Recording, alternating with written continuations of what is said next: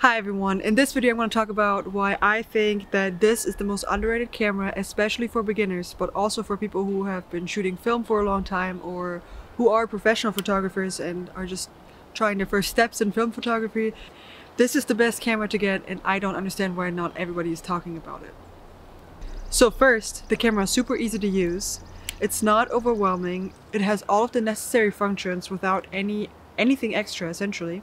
So all you can do is choose the film that you're going to put in it. So that's your ISO, choose the aperture, choose the speed, and that's it. And even though it's pretty simple to use, you still got a lot of control. You got the control over everything that's important. That's all you need to really start. And still, after shooting for almost 10 years, this is my favorite camera to use.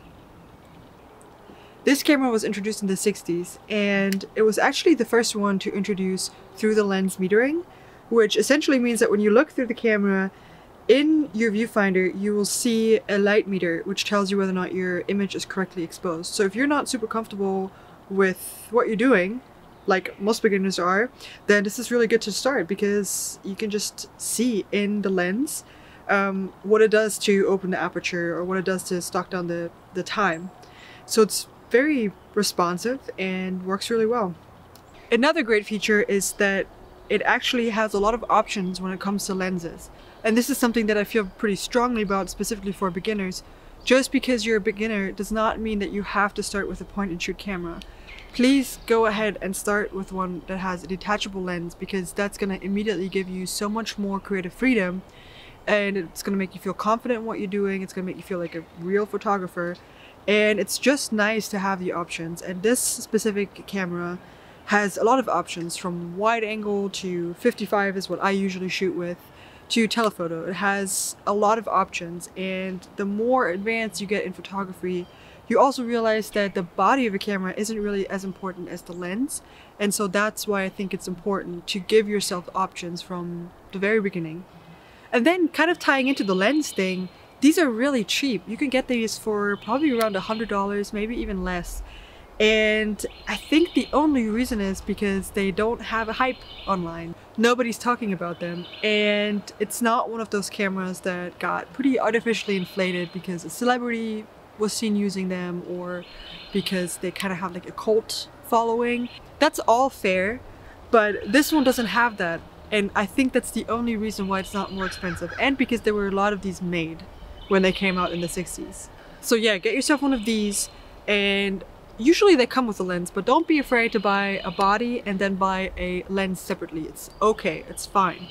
And you can usually send things back if you don't like it.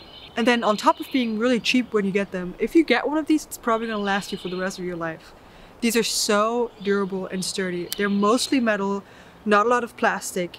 Because they're not that big, like you can see I have kind of small hands and they fit perfectly.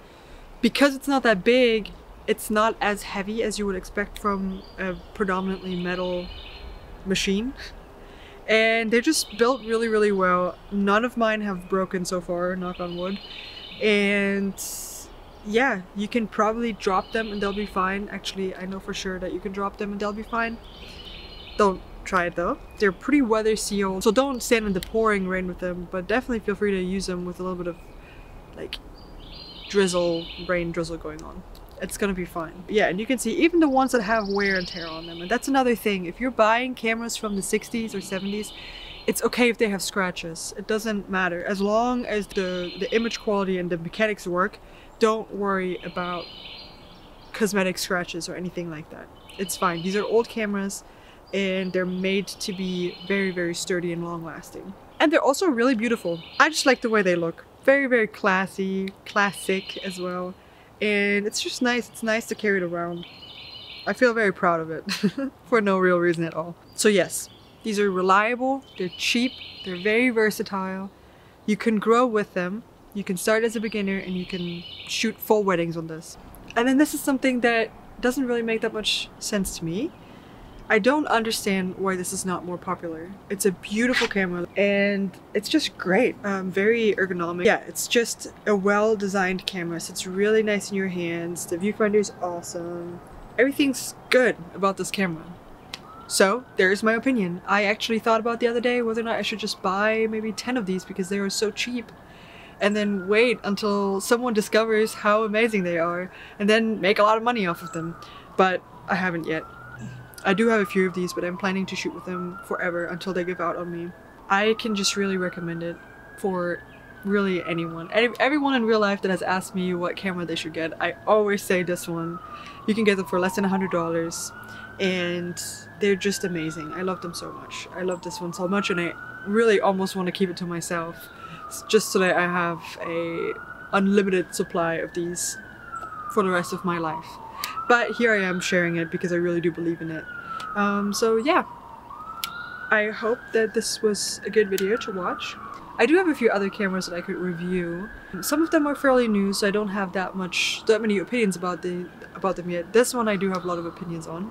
Please share with me in the comments whether or not you've shot with one before, or if you've seen one, or if you have a similar camera that um, I might want to check out. So yeah, that's all. Thanks for watching.